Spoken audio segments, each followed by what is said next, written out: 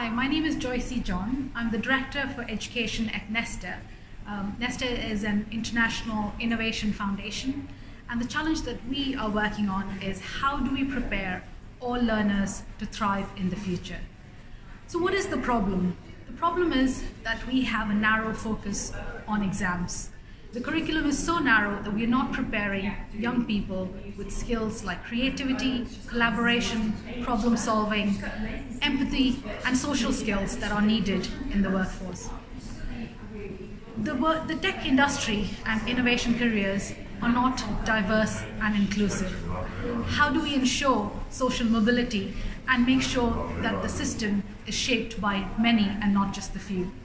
And finally, teachers, learners, and the education system are not making effective use of technology and data to improve outcomes.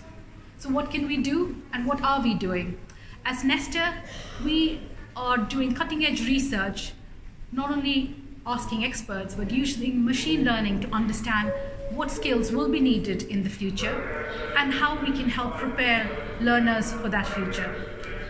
We are running grant programs. One example of that is the Future Ready Grant Fund, which was based on the research we did with Pearson on what skills will be needed.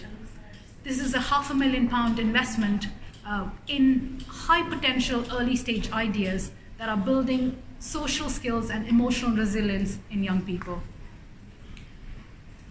On the need for diversity, we've just published a piece of research looking at 12 inspiring role models who are shaping AI. Uh, this was featured um, for the International Women's Day last week, and we're really proud to say that AI as a tool can be used to fight bias, sexism, uh, and other challenges that we see in the world today. Finally, on the use of technology, how can we empower learners and teachers to make better use of technology?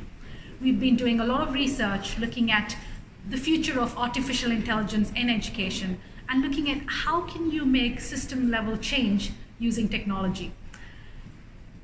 We'll be launching uh, a new piece of research during London EdTech Week and just uh, last month we've launched a research piece called Education Rebooted which basically looks at the current state of artificial intelligence in education and looks at the future state to make sure that we are maximizing the benefits that AI can bring to society while reducing the risk.